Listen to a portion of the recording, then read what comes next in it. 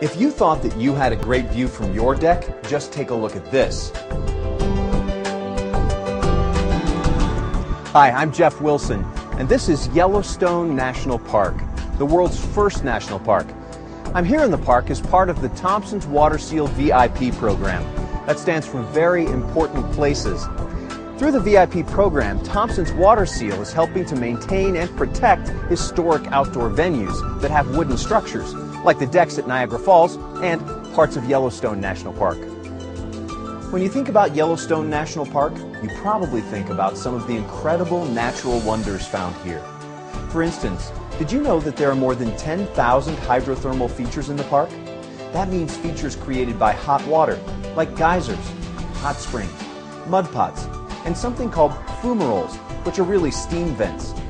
Yellowstone is the site of one half of all the hydrothermal features in the world, and it's also home to a number of waterfalls and a lake. But Yellowstone is also home to a number of historic man-made structures. This became our country's first national park in 1872, and Americans have lived, worked, and played here ever since. There are many hotels, cabins, buildings, and even a fort here in the park. Of course, there are also newer structures to accommodate the more than 3 million visitors who come here every year. One example of Thompson's Water Seal's support for the park is a project to stain this cabin and barn. It's called the Upper Blacktail Cabin. We know that this cabin was built in the 1930s to house people working in the park, and the barn was built even earlier. Conditions are tough up here. There's a saying that there are two seasons in Yellowstone winter and July. Overnight temperatures are usually below freezing in the fall, winter, and spring. In the winter, sub zero temperatures are common, and the average snowfall is more than 70 inches per year. Whether it's new wood or old, unless it's protected from water penetration, it can suffer damage, just like your deck.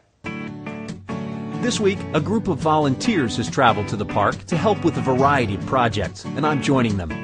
One of the group's projects is staining the cabin in the barn. We're using Thompson's Water Seal Deck and House Solid Oil Stain in Russet. One interesting thing to know is that the Yellowstone National Park has a historic architect who oversees restorations and maintenance projects on older structures to ensure that they're historically correct. After examining the cabin and barn, the architect felt that this color in the Thompson's Water Seal stain line matched the color that was used in the past on these structures. Okay, we're almost finished here, and this cabin and barn will get years of protection from water damage thanks to the Thompson's Water Seal solid oil stain. Of course, there are other places around Yellowstone where new wood structures are being built. Let's go check out one of those sites. Thompson's Water Seal has made a donation to a multi-year campground restoration project at Yellowstone.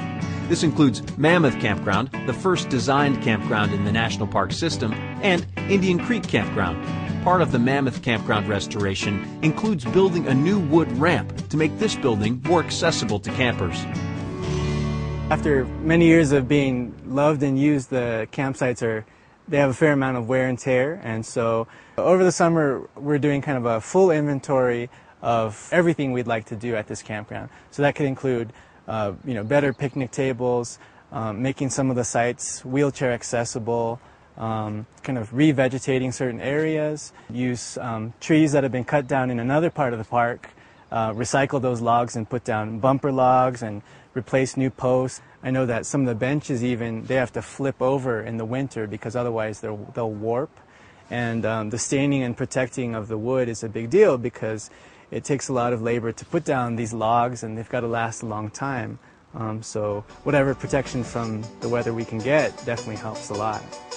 Thompson's Water Seal is also providing Thompson's Water Seal Waterproofer Plus Clear Wood Protector to use throughout the park. This product was the first nationally available waterproofer designed specifically for wood. And for the past two decades, it has protected millions of decks across America from expensive and ugly water damage. So we're proud that it will now be working at Yellowstone National Park, helping visitors from around the world enjoy this amazingly beautiful outdoor space. If you'd like to learn more about this very important place, visit www.nps.gov forward slash Yell. To learn more about how the Yellowstone Park Foundation helps support important projects at the park, visit www.ypf.org. To find out more about the Thompson's Water Seal products that we've been using, visit www.thompsonswaterseal.com.